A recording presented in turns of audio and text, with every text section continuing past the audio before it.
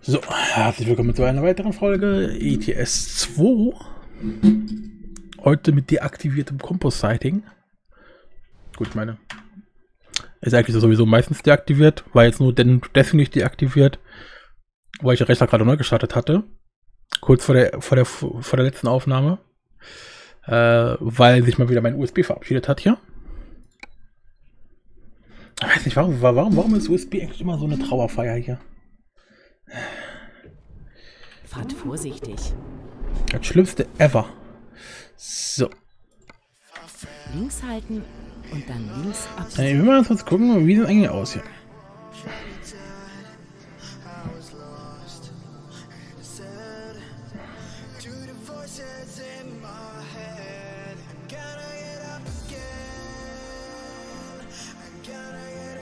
Ich glaube, ich mache das hier. Wir hätten halt nicht an der Kreuzung da parken sollen. War eine dumme Idee. Und dafür jetzt ganz, ganz zu 1% auf, also zum einen. Oh, okay, die Werten. Wir haben ja schon 6% Aufliegerschaden gehabt. Ich dachte, die vollen 8% kamen durch den LKW-Zusammenstoß da. Äh, also mit dem, mit dem Bus da. Warum haben wir schon so viel Schaden? Achso, man hier nicht. Na.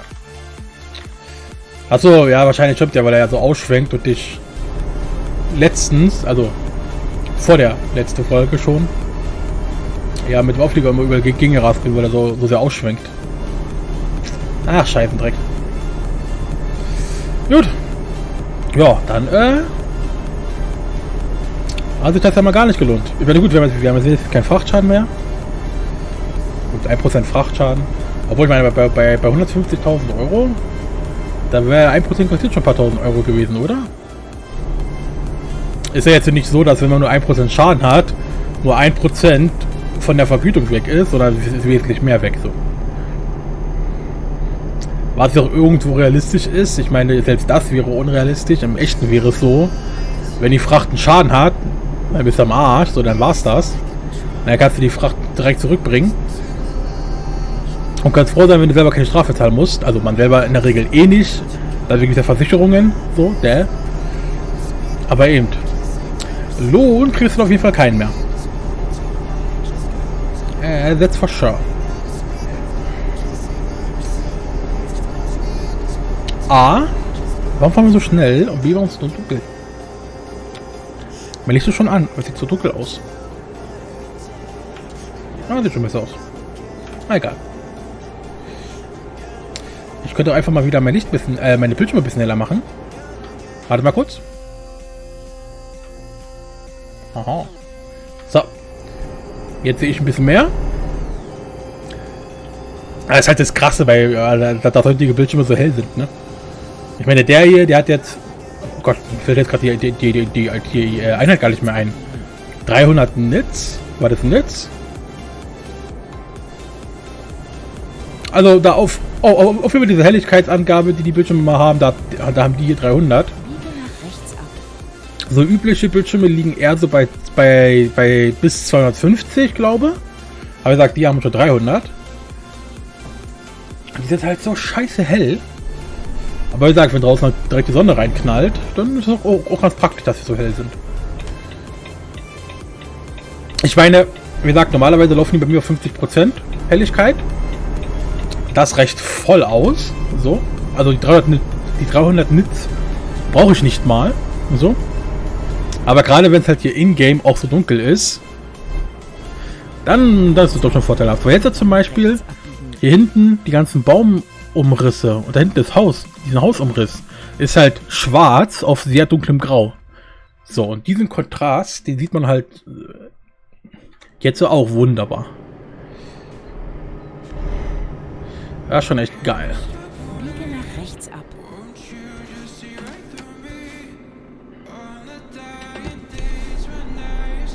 Wollen wir geradeaus weiterfahren? Da sind ein paar, Ge paar Gebäude, die wir noch gar nicht gesehen haben. Hier zum Beispiel, da kann man... Na gut, meine... Bis zum Jobcenter so. Würde das, würde das jetzt nicht so viel bringen.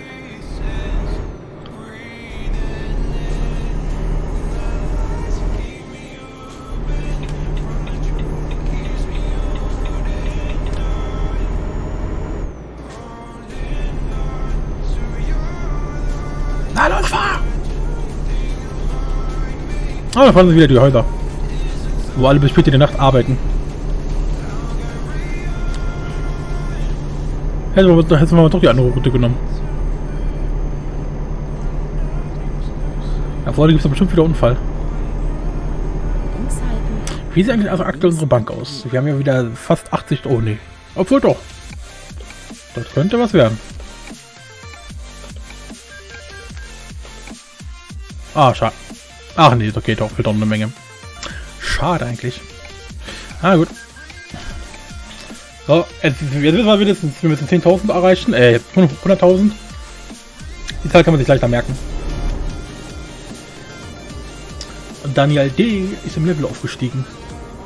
Ja, freu dich, Bitch. Oh Mann, Alter, warum müssen die überall Leitplanken sein? Oh, aber, aber warum ist da ein Stoppschild? Oh, warum der LKW nicht? Holy shit.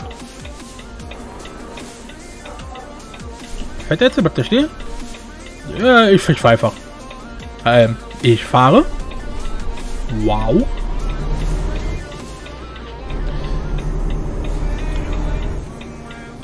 Ich grad so, ich fahre und mein Getriebe so, nee, du fährst nicht.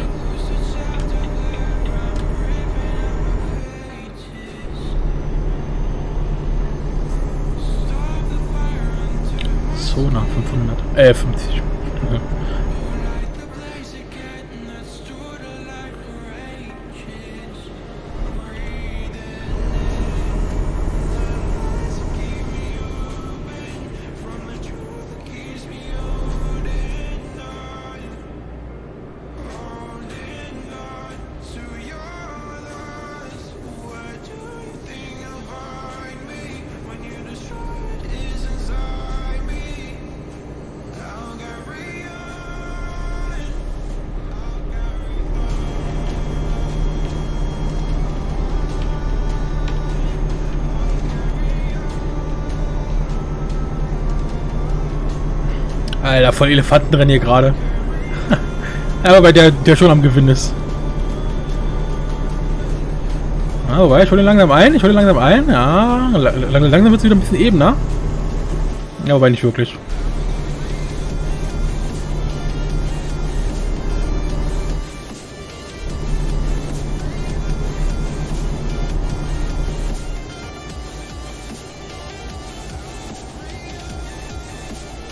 Der fährt aber auch mehr als 80, kann das sein? Der ist immer noch schneller als wir. Wir, fahren- und wir fahren schon 82. Aber ich glaube nicht, dass ein Auflieger für mehr als 80 zugelassen ist. Kennt man leider kaum. Wobei, wenn ich mal so mache. Ah, nee, sieht aus, als wenn er da unten eine 80er-Plakette dran hätte. Ich meine, ist auch klar, das ist ein Cortina-Auflieger so.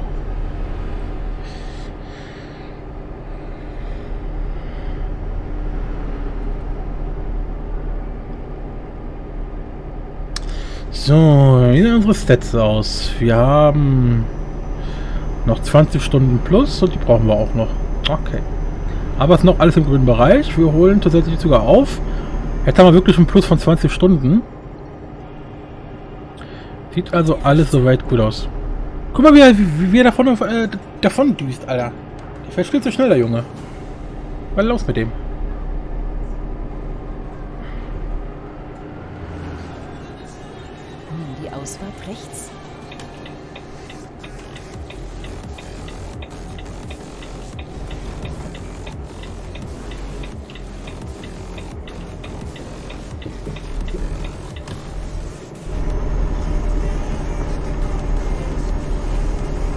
Komm schon, du schaffst das.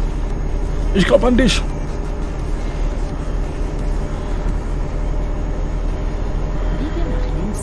Was? das ist einfach alles zu eng. Ich hasse ausschwenkende Auflieger. Oh, Alter, wie soll man denn hier lang? Ich will wieder ATS fahren. Ausschwenkende Auflieger mag ich nicht.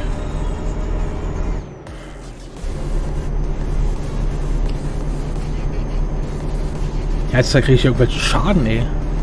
Ich habe doch den Schaden, habe ich doch, haben die doch. Ah, schon wieder 1% Aufliegerschaden. Äh, Frachtschaden.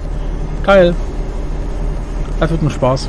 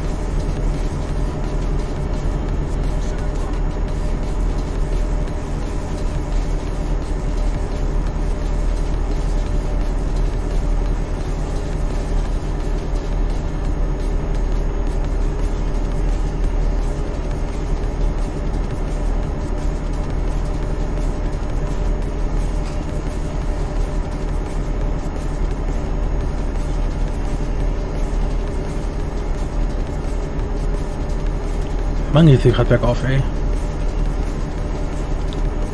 Gefällt mir mal gar nicht.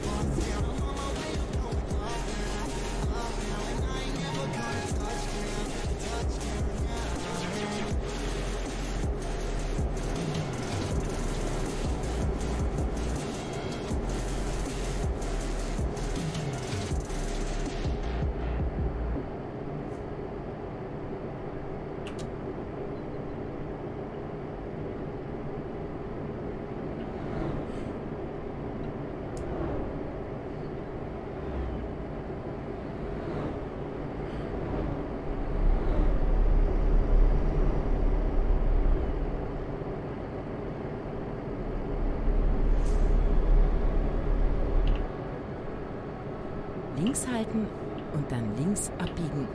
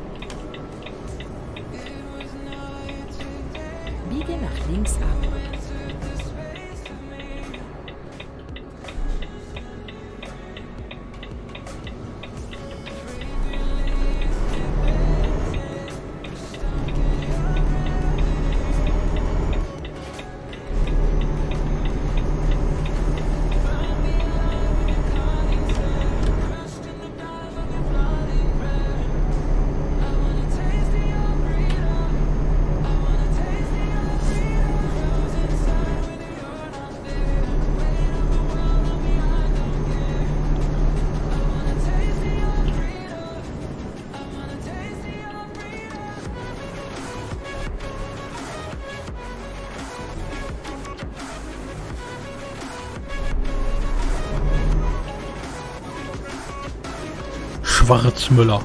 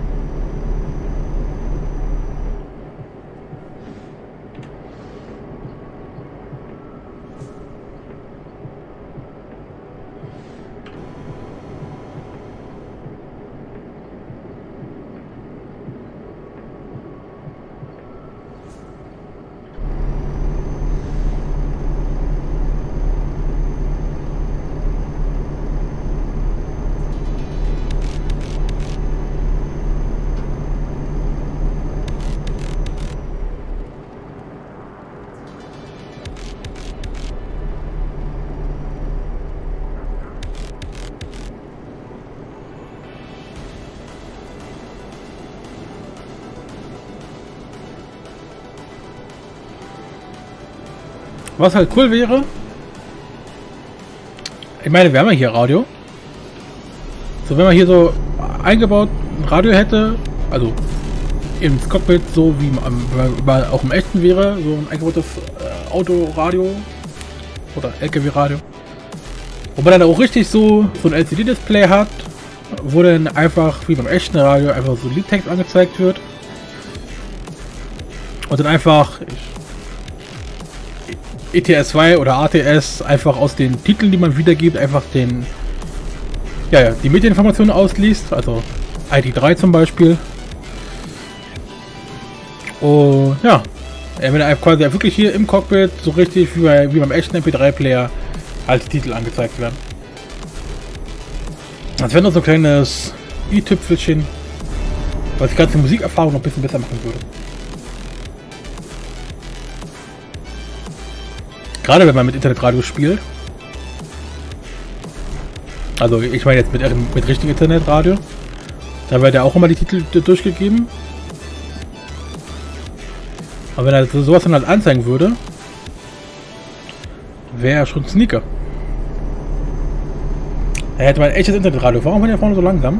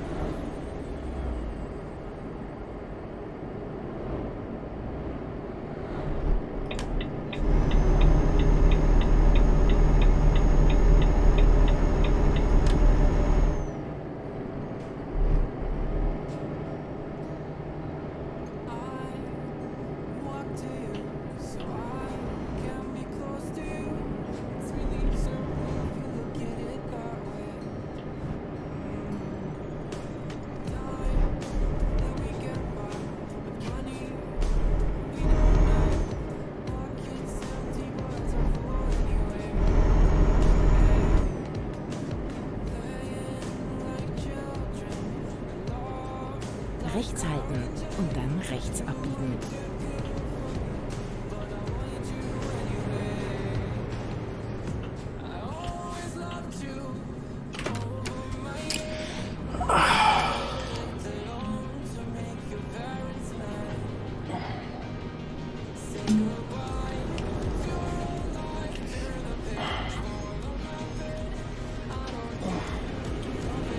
Oh, schon wieder grün.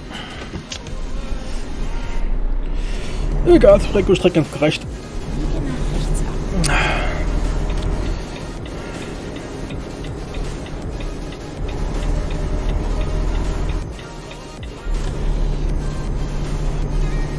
Ah. Etwa nicht angestoßen, gleich überall hier.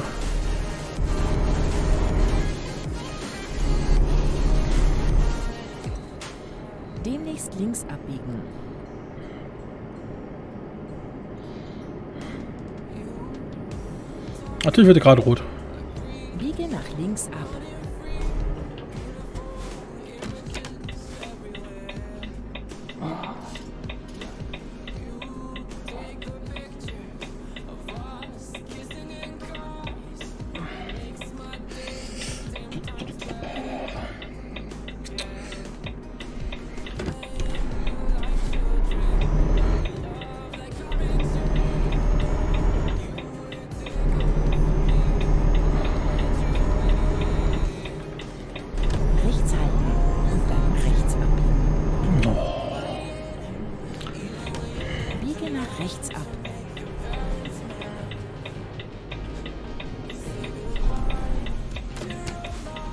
Deswegen bei solchen Stellen am besten eigentlich immer so fahren und dann hier abbiegen. Hast du wesentlich weniger Rotphasen.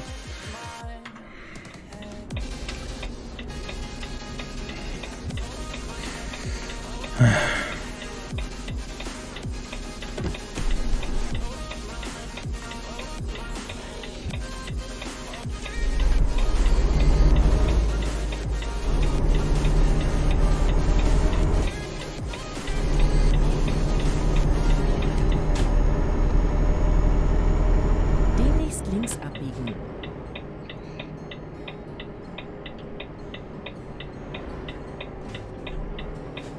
Biege nach links ab.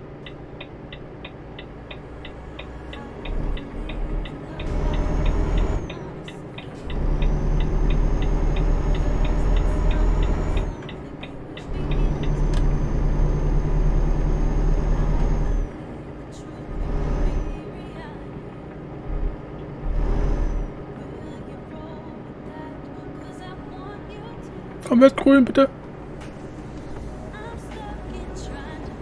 Immer geradeaus.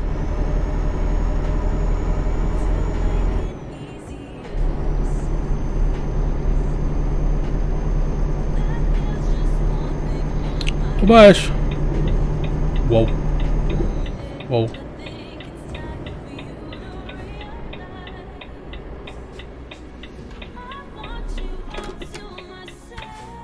Gut. Dann soll es auch für die Folge gewesen sein. Äh, und dann sehen wir uns zur nächsten Folge wieder.